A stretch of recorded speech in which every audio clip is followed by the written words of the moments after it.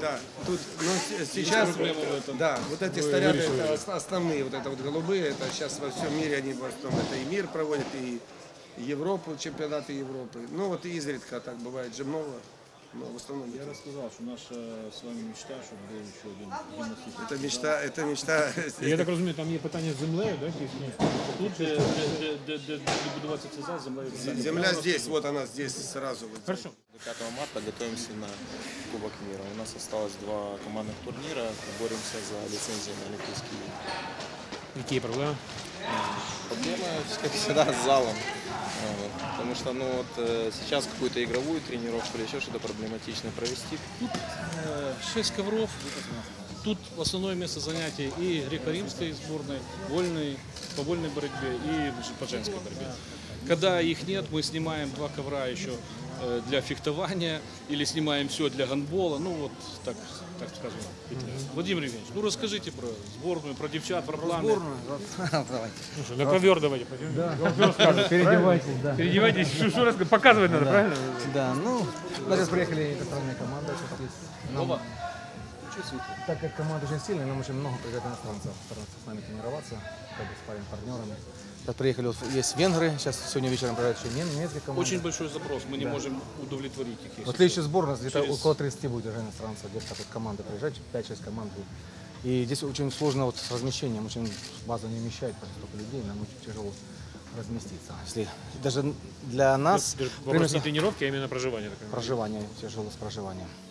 Тренировки тоже тяжело, так как э, у нас сейчас три вида. Это греко-римская, вольная и женская. Это три полноценные вида спорта. И один зал, на тро- две, команды умещаются, мы меняемся. А вот мы приходится, вот женская команда более она уступчивая, мы переходим на выходные дни, чтобы тренироваться, чтобы только друг другу не мешать. Потому что мы никак, никак не поместимся в один день, три команды. Сейчас заканчивается завтра у нас сбор э, общей физической, и специальной физической подготовки, а с 1 марта мы заезжаем на заключительный сбор, где уже технико-тактическое мастерство будем оттачивать. Вот такие планы. у нас. Олимпийской, ну, может, туда был минус два. Одна политика, сейчас может быть другая. Е, Там Наше здоров'я, дід Михайло, такі вже не живуть. Та ладно, Юрій Павлович, закінчив, добре. Да. Да, Сегодня мы готовимся э, к Олимпийским играм, но у нас как бы вот этот этап, который состоится в Москве, он лицензионный.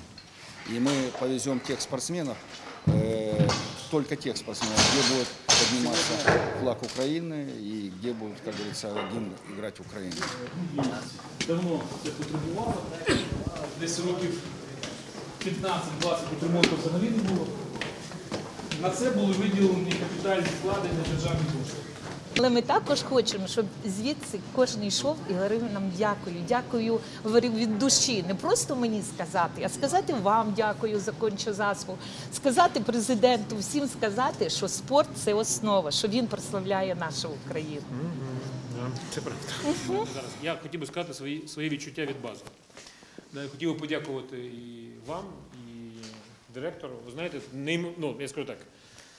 Е, неймовірне відчуття якось місця сили. Я не знаю, от я так. Ми, я приїхав з міністерства, да, там, там інші відчуття, е, м'яко кажучи. От. І тут дуже, дуже така світла атмосфера. Че- Вона чесна, вона відверта. Я би хотів подякувати директору вам за те, що тут от відчуваєш цю енергетику і, чесно кажучи, сюди хочеться повертатись. От я би щиро кажучи, помінявся би з вами місцем роботи.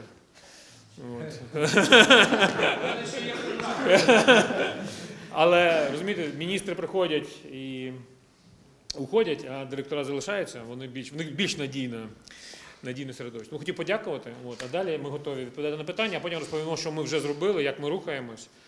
А, так, щоб швидко я скажу, так, щоб деякі питання зняти. З 1 березня вже затверджені нові е, Кабмін проголосував нові норми харчування для спортсменів.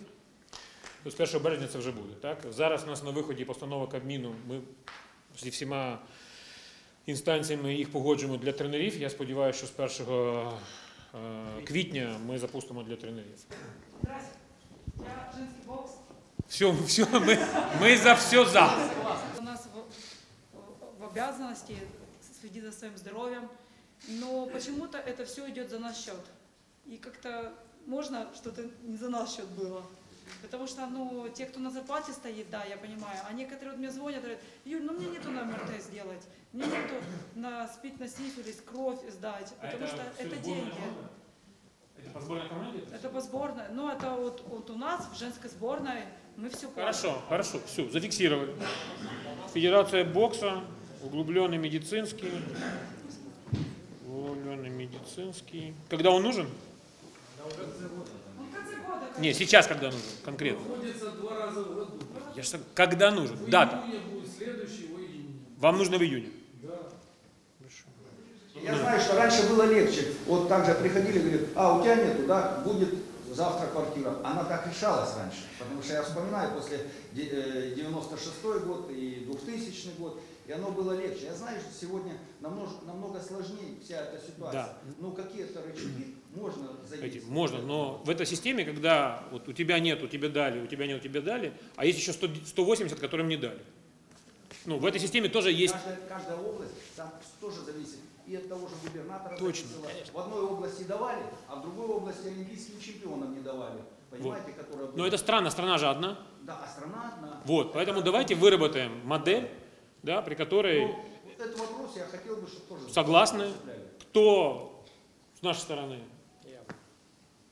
Владимир со стороны вас, ну вот, кто, кто готов. Мы напишем проект, этот, да, как э, модели. Ну да. Если потом с вами обсудим. Хорошо, давай так. Через два месяца у нас будет модель и понимание источника финансирования и объемов. Окей? Потому что есть еще второй вопрос. Можно еще, я подумал, что можно вторым образом еще пойти. да, э, часть денег дать по льготному кредитованию. В общем, мы с вами отработаем. Хорошо, зафиксировали. Запускаем суд арбитражный при НОКе. То есть вот он в течение, я надеюсь, двух-трех недель мы запустим суд при ноке, где спортсмены, федерация ну, можно, могут выяснить свои взаимоотношения. Также э, этот суд будет корреспондироваться со спортивным арбитражом глазами. Да, то есть мы сейчас создадим вот этот институциональный, чтобы министры бывают разные. И не должно вся система зависеть от того, хороший министр или плохой. Мы должны создать институцию, куда каждый спортсмен может обратиться и сказать, смотрите, это нечестно. Разберите, пожалуйста, ситуацию, примите решение. И это решение будет обязательно для федерации. Мы в контракт с федерациями заложим. Вот, вот- вот как будет механизм работать? История, что этот суд является обязательным. Не выполнили решение суда, лишились финансирования. И обязательно, например, перевыборы. Но это уже в другом законодательстве. То есть мы должны заложить такие инструменты, чтобы федерация по-настоящему стала общественной организацией, а не клубом по интересам. Я никого не хочу обидеть, если такие есть.